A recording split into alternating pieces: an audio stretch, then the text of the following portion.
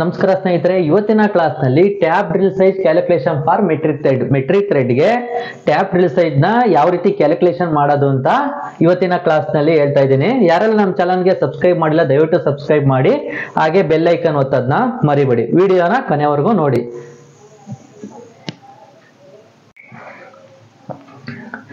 ಯಾವುದೇ ಒಂದು internal thread ಮಾಡಬೇಕಾದ್ರೆ ಡ್ರಿಲ್ ಬಿಟ್ ಸೈಜ್ನ ಅವಶ್ಯಕತೆ ತುಂಬಾನೇ ಇರುತ್ತೆ. ಈ ಮೈನರ್ ಡಯಾಮೀಟರ್ ಏನಿದೆಯಲ್ಲ, ಈ ಮೈನರ್ ಡಯಾಮೀಟರ್ ನಾವು ಕರೆಕ್ಟ್ ಆಗಿ ಮೇಂಟೈನ್ ಮಾಡಬೇಕಾಗುತ್ತೆ. ಎಕ್ಸ್ಟರ್ನಲ್ ಅಲ್ಲಿ ಆದ್ರೆ ಓಡಿ ಡಯಾಮೀಟರ್ನ ಮೇಂಟೈನ್ ಮಾಡ್ತೀವಿ. ಇಂಟರ್ನಲ್ ಅಲ್ಲಿ ಆದ್ರೆ ಮೈನರ್ ಡಯಾಮೀಟರ್ನ ಮೇಂಟೈನ್ ಮಾಡ್ತೀವಿ. ನಾವು ಈ ಇಂಟರ್ನಲ್ ಥ್ರೆಡ್ ಮಾಡಬೇಕಾದ್ರೆ ಡ್ರಿಲ್ ಸೈಜ್ನ ಯಾವ ರೀತಿ ಕ್ಯಾಲ್ಕುಲೇಷನ್ ಮಾಡೋದು? ಅದು ಮೆಟ್ರಿಕ್ ಥ್ರೆಡ್ ಅಲ್ಲಿ ಯಾವ ರೀತಿ ಕ್ಯಾಲ್ಕುಲೇಷನ್ ಮಾಡೋದು ಅಂತ ನೋಡೋಣ. ISO metric thread is a worldwide standardized thread. Pitch and diameter are measured in mm ಅಲ್ಲಿ ಮೆಜರ್ ಮಾಡ್ತೀವಿ. The code letter for the metric thread is a M ಅಂತ ಸ್ಪೆಸಿಫೈ ಮಾಡಿರ್ತಾರೆ. ಮೆಟ್ರಿಕ್ ಥ್ರೆಡ್ನ ಯಾವತ್ತಾಗ್ಲಿ ಎಂ ಅಂತಾನೆ ಸ್ಪೆಸಿಫೈ ಮಾಡಿರ್ತಾರೆ. The plank angle is a sixty degree ಇರುತ್ತೆ. ಇದು ಬಂದು ಇಂಟರ್ನಲ್ ಥ್ರೆಡ್ ಇಂಟರ್ನಲ್ ಥ್ರೆಡ್ನ ನಾವು ಫಿಮೇಲ್ ಥ್ರೆಡ್ ಅಂತ ಕರಿತೀವಿ. ಎಕ್ಸ್ಟರ್ನಲ್ ಥ್ರೆಡ್ನ ನಾವು ಮೇಲ್ ಥ್ರೆಡ್ ಅಂತ ಕರಿತೀವಿ. ಈ ಇಂಟರ್ನಲ್ ಥ್ರೆಡ್ನ ಮೇಂಟೈನ್ ಮಾಡಬೇಕು ಅಂತಂದ್ರೆ ಮೈನರ್ ಡಯಾಮೀಟರ್ನ ನಾವು ಮೇಂಟೈನ್ ಮಾಡಬೇಕಾಗುತ್ತೆ. ಇಂಟರ್ನಲ್ ಥ್ರೆಡ್ನ ಮಾಡಬೇಕು ಅಂತಂದ್ರೆ ಮೈನರ್ ಡಯಾಮೀಟರ್ನ ಮೇಂಟೈನ್ ಮಾಡಬೇಕು. ಈ ಮೈನರ್ ಡಯಾಮೀಟರ್ ಏನ್ ಮಾಡ್ತೀವಿ ನಾವು? ಡ್ರಿಲ್ಸ್ ಬಿಟ್ನ ನಾವು ಹಾಕ್ತಿವಿ. ಅದೇ ನೀವು ಎಕ್ಸ್ಟರ್ನಲ್ ಥ್ರೆಡ್ ಅಲ್ಲಿ ಆದ್ರೆ ಓಡಿ ಡಯಾಮೀಟರ್ನ ಮೇಂಟೈನ್ ಮಾಡ್ತೀವಿ. ಇಂಟರ್ನಲ್ ಅಲ್ಲಿ ಆದ್ರೆ ಮೈನರ್ ಡಯಾಮೀಟರ್ನ ಮೇಂಟೈನ್ ಮಾಡ್ತೀವಿ. ಈ ಮೈನರ್ ಡಯಾಮೀಟರ್ನ ನಾವು ಕೋರ್ ಡಯಾಮೀಟರ್ ಅಂತ ಕರಿತೀವಿ. ಕೋರ್ ಡಯಾಮೀಟರ್ ಅಂತಂದ್ರೆ ಕ್ರಸ್ಟ್ ಇಂದ ಕ್ರಸ್ಟ್ ಏನಿದೆಯಲ್ಲ, ಅದು ಬಂದು minor diameter or core diameter ಅಂತ ಕರಿತೀವಿ. ರೂಟ್ ಇಂದ ರೂಟ್ ಏನಿದೆಯಲ್ಲ, ಅದು ಬಂದು ಮೇಜರ್ ಡಯಾಮೀಟರ್ ಇದು ಇಂಟರ್ನಲ್ ಥ್ರೆಡ್ ಅಲ್ಲಿ. ಅದೇ ನೀವು ಎಕ್ಸ್ಟರ್ನಲ್ ಥ್ರೆಡ್ ಅಲ್ಲಿ ಆದ್ರೆ ರೂಟ್ ಇಂದ ರೂಟ್ಗೆ ಮೈನರ್ ಡಯಾಮೀಟರ್ ಆಗುತ್ತೆ ಕ್ರಸ್ಟ್ ಇಂದ ಕ್ರಸ್ಟ್ಗೆ ಬಂದು ಮೇಜರ್ ಡಯಾಮೀಟರ್ ಆಗುತ್ತೆ. ಇದು ಇಂಟರ್ನಲ್ ಥ್ರೆಡ್ ಅಲ್ಲಿ ಆದ್ರೆ ರೂಟ್ ಇಂದ ರೂಟ್ಗೆ ಮೇಜರ್ ಡಯಾಮೀಟರ್ ಕ್ರಸ್ಟ್ ಇಂದ ಕ್ರಸ್ಟ್ಗೆ ಮೈನರ್ ಡಯಾಮೀಟರ್ ಇದು ಬಂದು ಪ್ಲಾಂಕ್ ಆಂಗಲ್ ಬಂದು ಸಿಕ್ಸ್ಟಿ ಡಿಗ್ರಿ ಇರುತ್ತೆ. ಇಲ್ಲಿಂದ ಇಲ್ಲಿಗೆ ಏನಿದೆಯಲ್ಲ, ಅದು ಬಂದು ಪಿಚ್ ಆಗಿರುತ್ತೆ. ಹಾಗಾದ್ರೆ ಹಾಗಾದ್ರೆ ಡ್ರಾಯಿಂಗ್ ಅಲ್ಲಿ ಯಾವ ರೀತಿ ಕೇಳಿಡ್ತಾನೆ ಅಂತಂದ್ರೆ, ಇವಾಗ ಎಂ ಏಟ್ ಇಂಟು ಎಕ್ಸಾಂಪಲ್ ಬಂದು M eight into one point two five ಈ ತರ ಕೇಳಿಡ್ತಾನೆ ಹಾಗಾದ್ರೆ M eight into one point two five ಅಂದ್ರೆ ಏನು ಅಂತಂದ್ರೆ ಎಂ ಅನ್ನೋದು metric thread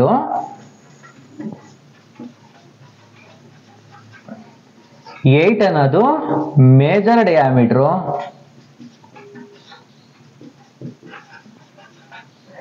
one point two five ಅನ್ನೋದು ಇದು ಬಂದು ಪಿಚ್ಚು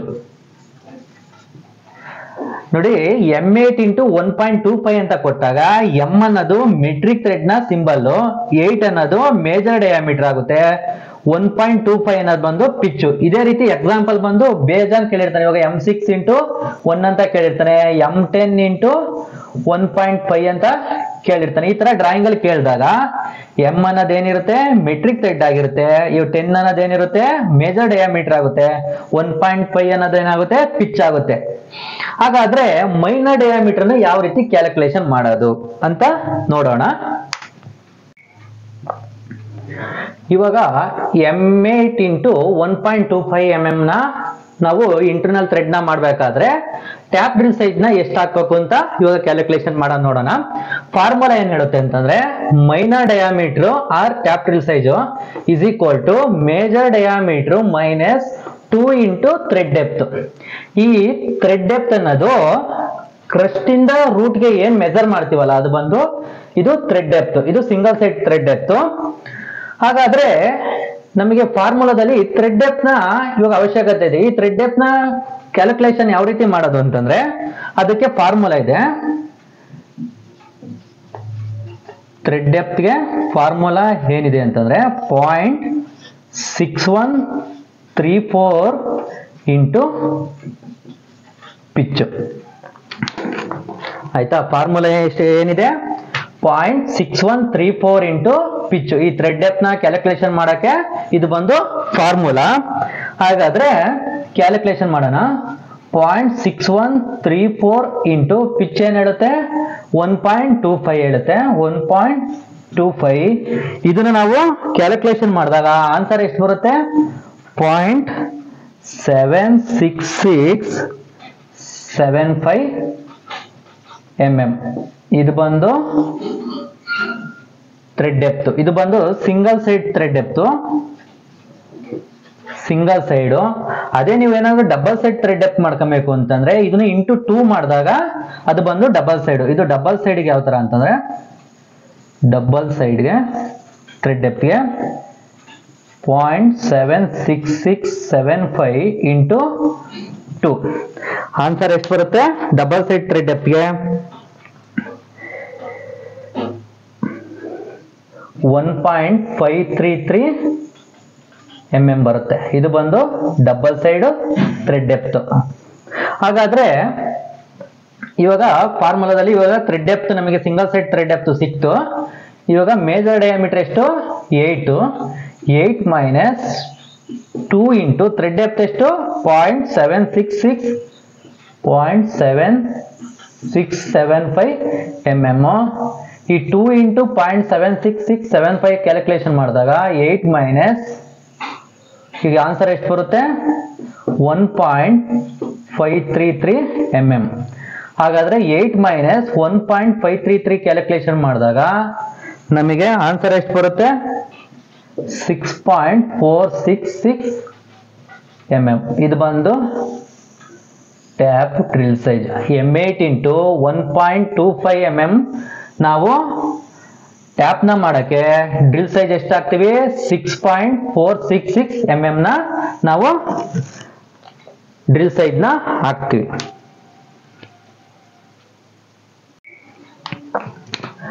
ನೋಡಿ, ಇದು ರೌಂಡ್ ಫಿಗರ್ ಮಾಡಿದಾಗ six point five M M ಆಗುತ್ತೆ. Six point five M M ನ ನಾವು ಡ್ರಿಲ್ ಸೈಜ್ ಹಾಕಿದ್ರೆ M eight into one point two ಫೈವ್ಗೆ hundred percent thread produce ಆಗುತ್ತೆ. ಹಾಗಾದ್ರೆ ಹಂಡ್ರೆಡ್ ಪರ್ಸೆಂಟ್ ಥ್ರೆಡ್ ಪ್ರೊಡ್ಯೂಸ್ ಆಗೋದು ನಮಗೇನು ಅವಶ್ಯಕತೆ ಇಲ್ಲ. ಯಾಕಂತಂದ್ರೆ ಹಂಡ್ರೆಡ್ ಪರ್ಸೆಂಟ್ ಥ್ರೆಡ್ ಪ್ರೊಡ್ಯೂಸ್ ಮಾಡಿದ್ರೆ ನಿಮಗೆ ಅಸೆಂಬ್ಲಿಗೆ ತುಂಬಾನೇ ಪ್ರಾಬ್ಲಮ್ ಆಗುತ್ತೆ. ಹಾಗಾದ್ರೆ ಇನ್ನೊಂದು ಮೆಥಡ್ ಇದೆ. ಯಾಕಂದ್ರೆ ಅಂತಂದ್ರೆ ಟ್ರ್ಯಾಪ್ ಸೈಜ್ ಕ್ಯಾಲ್ಕುಲೇಷನ್ ಮಾಡಕ್ಕೆ ಇನ್ನೊಂದು ಮೆಥಡ್ ಇದೆ. ಅದು ಯಾವ ಮೆಥಡ್ ಅಂತ ನೋಡೋಣ. ಟ್ಯಾಪ್ ಸೈಜ್ ಕ್ಯಾಲ್ಕುಲೇಷನ್ ಮಾಡಕ್ಕೆ ಸೆಕೆಂಡ್ ಮೆಥಡ್ ಯಾವ ತರ ಅಂತಂದ್ರೆ ಟ್ಯಾಪ್ ಡ್ರಿಲ್ ಫಾರ್ಮುಲಾ ಬಂದು tap drill size is equal to major dia minus pitch. ಇದು second ಮೆಥಡ್ನ formula.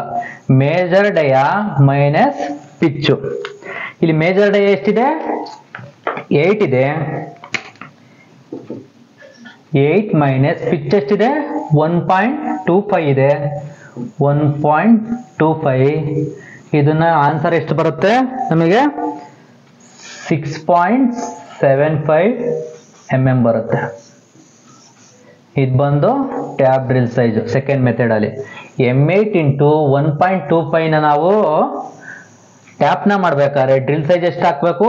Six point seven five M M ಹಾಕ್ಬೇಕು.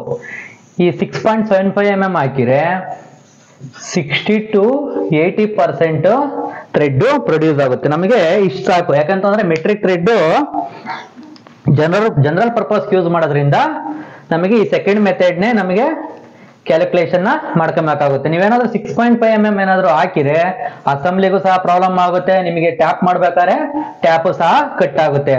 ಯಾವುದೇ ಒಂದು ಮೆಟ್ರಿಕ್ ಥ್ರೆಡ್ನ ಕೇಳಿದಾಗ ಈ ಸೆಕೆಂಡ್ ಮೆಥಡ್ನ ಏನ್ ಫಾರ್ಮುಲಾ ಇದೆಯಲ್ಲ, ಇದನ್ನ ಯೂಸ್ ಮಾಡಿ.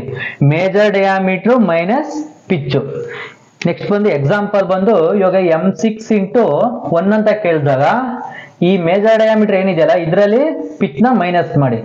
ಸಿಕ್ಸ್ ಮೈನಸ್ ಒನ್ ಇವಾಗ ಟ್ಯಾಪ್ ರಿಸೈಜ್ ಎಷ್ಟು ಬಂತು ಫೈವ್ ಎಂ ಎಂ ಬಂತು. ಈ ರೀತಿ ಕ್ಯಾಲ್ಕುಲೇಷನ್ನ ಮಾಡ್ಕೊಬೇಕಾಗುತ್ತೆ ಮೆಟ್ರಿಕ್ ಸೈ ಮೆಟ್ರಿಕ್ ಥ್ರೆಡ್ನ ಡ್ರಿಲ್ ಸೈಡ್ನ ಹಾಕ್ಬೇಕಾದ್ರೆ. ಹಾಗಾದ್ರೆ ನೆಕ್ಸ್ಟ್ ಬಂದು